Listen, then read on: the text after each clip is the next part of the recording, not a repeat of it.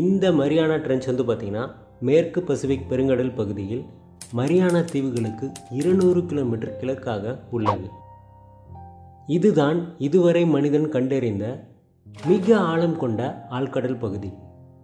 இந்த Mariana trench வந்து பிறைநிலா வடிவில் இரண்டாயிரத்தி ஐநூற்றி ஐம்பது கிலோமீட்டர் நீளமும் அறுபத்தொம்பது கிலோமீட்டர் அகலமும் மேலும் இதன் தெற்கு பகுதியில் பார்த்திங்கன்னா பத்தாயிரத்தி தொள்ளாயிரத்தி பதினஞ்சு மீட்டர் ஆழமும் கொண்டுள்ளது.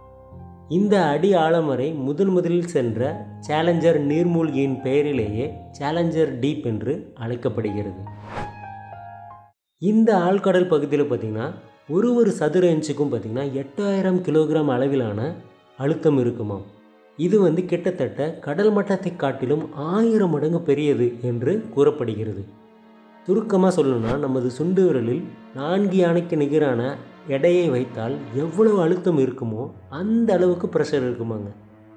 இந்த அளவுக்கு ப்ரெஷர் இருக்கிற காரணத்தினால மனிதனாகிய நாம் வந்து அவ்வளவு எளிதாக இந்த இடத்தை அடைந்துவிட முடியாது.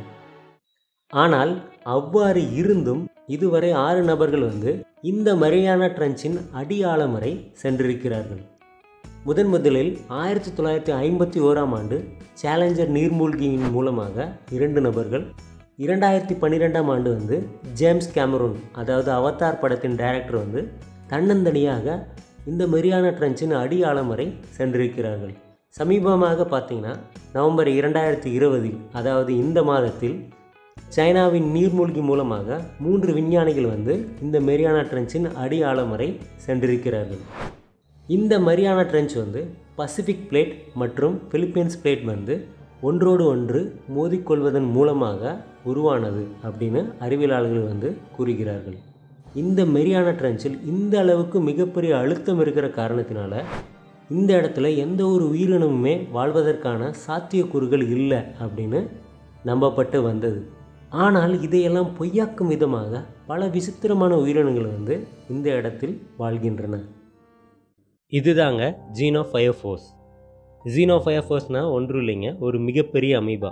நமக்கு அமீபா என்பது ஒரு செல் உயிரி அப்படின்றது தெரியும். ஆனால் இதை வந்து மைக்ரோஸ்கோப் மூலமாக மட்டும்தான் பார்க்கவே முடியும். ஆனால் இந்த மரியானா ட்ரன்ச்சில் இருக்க அமீபா வந்து பார்த்திங்கன்னா கிட்டத்தட்ட நான்கு இன்ச்சஸ் அளவுக்கு இருக்குமாங்க. இதுதான் வந்து மனிதனாகிய நாம் கண்டறிந்த மிகப்பெரிய ஒரு சொல் உயிரிங்க. அடுத்தது ஃபில்ட் ஷார்க் இந்த வகையான சுறா மீன் வந்து ஒரு லிவிங் ஃபாசில் என்றே அழைக்கிறார்கள். ஏனென்றால் இவை வந்து அறுபது மில்லியன் வருடங்களுக்கு முன் இருந்த ஒரு வகையான சுறா மீன் போன்றே உள்ளது. மேலும் நம்மிடம் இருக்கும் ஃபாசில் வந்து தற்போது இருக்கும் சுறாவின் ஆறரை அடி நீளத்தை விட இரண்டு மடங்கு பெரியதுங்க. இதனுடைய பற்களில் மாட்டிய எதுவுமே வெளிவராத வகையில் தான் இந்த பற்கள் வந்து அமைந்துள்ளது. இதுதான் ஜெயிண்ட் ஆர்ஃபிஷ் இந்த மீன் வந்து பார்த்திங்கன்னா கிட்டத்தட்ட நாற்பது முதல் ஐம்பத்தைந்து அடி நீளம் வரை வளரக்கூடியதுங்க. இவை பெரும்பாலும் ஆழ்கடல் பகுதியில் தான் இருக்கும். சில சமயத்தில் பார்த்திங்கன்னா கடலின் மேற்பரப்பிற்கு வந்து சிறிய படகில் செல்பவர்களை பயமுறுத்தும். இந்த மீனை தான் பலர் வந்து கடல் பாம்பு என்று தவறுதலாக எண்ணி இன்றும் பயப்பட்டு கொண்டே இருக்கிறார்கள். அடுத்தது ஜாப்பனீஸ் ஸ்பைடர் கிராப். இந்த நண்டு வகை வந்து பார்ப்பதற்கு சிலந்தி போல அமைப்பு கொண்ட காரணத்தினால இதை வந்து ஸ்பைடர் கிராப் என்று அழைக்கிறார்கள். இந்த ஸ்பைடர் கிராப் வந்து பார்த்திங்கன்னா கிட்டத்தட்ட பன்னிரெண்டு அடி வரையும் மேலும் இருபது கிலோ எடை வரை வளரக்கூடியதுங்க. அடுத்தது ஜெயின் ஸ்குவிட் இந்த மிகப்பெரிய கனவா மீன் வந்து பார்த்திங்கன்னா கிட்டத்தட்ட ஐம்பத்தொம்போது அடி நீளம் வரை வளரக்கூடியதுங்க. இந்த மீனோட கண்கள் பார்த்தீங்கன்னா நமது மனிதனாகிய நம்முடைய தலையை விட மிகப்பெரியதாக இருக்குங்க. இதனால் இந்த கனவா மீனை பார்ப்பதற்கு மிகவும் பயமாக இருக்குங்க. இந்த கனவா மீனின் பற்கள் வந்து பார்த்திங்கன்னா இரும்பு கம்பியையே உடைக்கும் அளவுக்கு வலிமை வாய்ந்தது. இதுதான் பிளாக் டிராகன் ஃபிஷ் இந்த மீன் வந்து பார்த்திங்கன்னா ஏதோ வேறு கிரகத்திலேருந்து வந்தது போல் தோன்றுகிறதுங்க. இந்த மீனுக்கும் நம்ம பூமிக்கும் சம்மந்தமே இல்லாத மாதிரி இது ஏதோ வேறு கிரகத்திலேருந்து வந்த மீன் போல் ஒரு ஏழின் வகை மீன் போல் இருக்கிறது. இதுதான் சீ டெவில் ஆங்குலர் ஃபிஷ் இந்த ஆங்குலர் ஃபிஷ் வந்து பார்த்திங்கன்னா பிளாக் டிராகன் மீனோட மிக கொடூரமாக இருக்கிறதுங்க. இந்த மீனின் தலைப்பகுதியில் ஒரு நரம்பு போல அமைப்பு இருக்குங்க. அதனுடைய நுனியில் பார்த்திங்கன்னா லைட் எரியுங்க. இந்த லைட்டை வச்சு அதை விட சிறிய வகையான மீன்களை வந்து கவர்ந்து இரையாக்கி கொள்ளும். இந்த ஆங்கிலர் மீனின் பெண் வகை வந்து பார்த்திங்கன்னா ஏழு இன்ச்சஸ் வரை வளரக்கூடியது. இதன் ஆண் வகை வந்து பார்த்திங்கன்னா ஒரு இன்ச்சஸ் வரை தான் வளரக்கூடியது. இந்த ஆண் வகை வந்து பார்த்திங்கன்னா எப்பொழுதுமே பெண் மீனுடன் ஒட்டி கொண்டு தான் இருக்கும். இந்த ஆண் மீன் வந்து ஒட்டுண்ணி வகையை சார்ந்தது. இதற்கு உணவு வந்து பார்த்திங்கன்னா பெண் மீனின் ரத்தத்திலிருந்து தான் செல்கிறதுங்க. அடுத்தது பிளாக் சலவர் இந்த மீன் வந்து பார்த்திங்கன்னா கிட்டத்தட்ட பத்து அங்குலம் வரை வளரக்கூடியதுங்க. ஆனால் இந்த மீன் வந்து இதனுடைய நீளத்தை காட்டிலும் நான்கு மடங்கு நீளம் அதிகமான உள்ள மீன்களை முழுங்கும் திறன் கொண்டது. ஆனால் அளவிற்கு மிஞ்சினால் அமிர்தமும் நஞ்சு. இந்த மீன் வந்து இதை விட நான்கு மடங்கு பெரிய மீனை விழுங்கும் பொழுது இதனுடைய வயிறு வந்து பார்த்திங்கன்னா விரிவடைந்து விடுங்க. இந்த மீனை காட்டிலும் இரண்டு மடங்கு மிகப்பெரிய மீனை விழுங்கினால் அதை செரிமானம் செய்துவிடும். ஆனால் இந்த மீனை காட்டிலும் நான்கு மடங்கு மிக நீளமான மீனை விழுங்கிய காரணத்தினால இவை அனைத்துமே மாண்டு விடுங்க. அடுத்தபடியாக டம்போ ஆக்டபஸ்.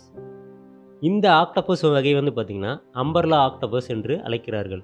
இதனுடைய டென்டக்கிள்ஸ் வந்து விரிவடைந்த நிலையில் பார்க்கும் பொழுது ஒரு குடை போன்ற அமைப்பு இருக்கிற காரணத்தினால இதை வந்து அம்பர்லா ஆக்டோபஸ் என்று அழைக்கிறார்கள்.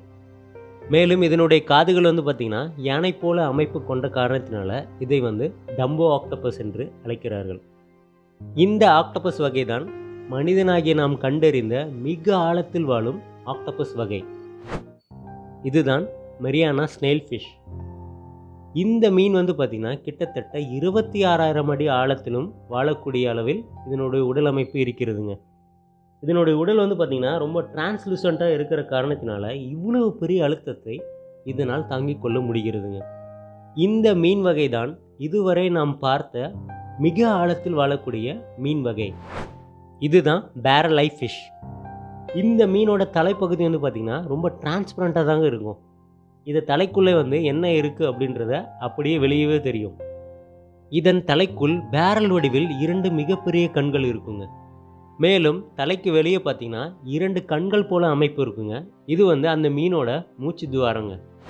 இதுதான் காப்ளின் ஷார்க் இந்த மீனையும் பார்த்தீங்கன்னா ஏதோ வேட்டு கிரகத்திலிருந்து வந்த மீனை போலவே அமைப்பு கொண்டதாக இருக்கிறதுங்க.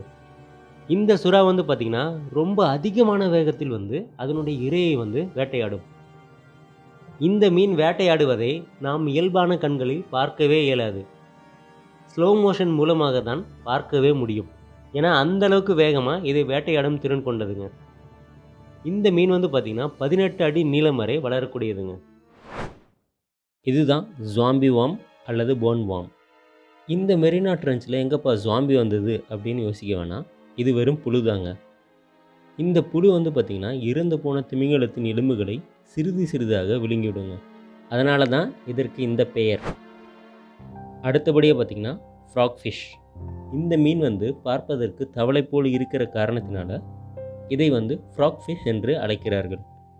இதன் முன்பகுதியில் கால் போன்ற அமைப்பை வைத்து இவை கடலின் தரையில் நடந்து செல்லுங்க. இது மிஸ்ட்ரி ஜெல்லி இதை பார்த்தாலே இதன் பெயர் எப்படி வந்தது அப்படின்றது உங்களுக்கு புரிந்திருக்கும். இந்த மீன் வகைகள் எல்லாமே எவ்வாறு வாழ்கிறது என்பதே மிகப்பெரிய ஆச்சரியமான விஷயங்க. ஏனென்றால் மூவாயிரத்தி முந்நூறு அடிக்கு கீழ் வந்து பார்த்திங்கன்னா ஒரு சதவீதம் கூட சூரிய வெளிச்சமே இருக்காது. இந்த மீன்களெல்லாம் பார்த்தீங்கன்னா மின்மணி பூச்சியிடம் இருப்பது போலவே தன்னிடமே வெளிச்சத்தை வைத்திருக்கிறதுங்க. இதை தான் ஆங்கிலத்தில் பயோலூமினிசென்ட் என்று அழைக்கிறார்கள். இந்த பயோலூமினிசென்ட்டை வைத்து சில மீன்கள் வந்து அதைவிட சிறிய வகையான மீன்களை கவர்ந்து இரையாக்கி கொள்கிறது. மேலும் சில மீன்கள் வந்து இந்த பயோலூமினசென்ட்டை வைத்து தங்களை தற்காத்து கொள்கிறது.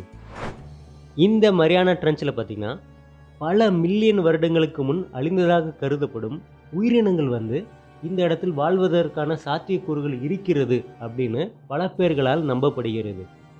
ஆனால் இது எந்த அளவுக்கு உண்மை என்பதை காலம்தான் முடிவு செய்ய வேண்டும்.